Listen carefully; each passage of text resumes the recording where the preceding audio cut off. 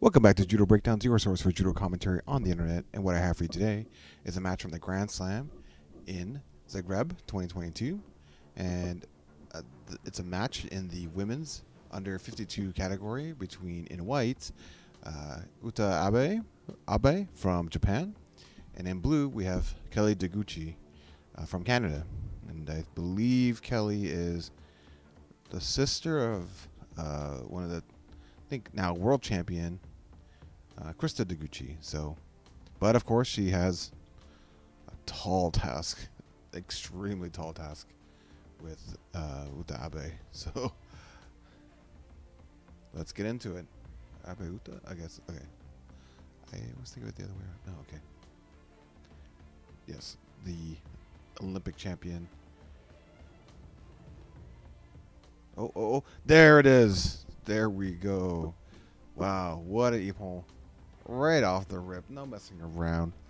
Uta uh, Abe. Let's take a look at that again. My goodness. Just just got right into it. That's what you want to see. Okay.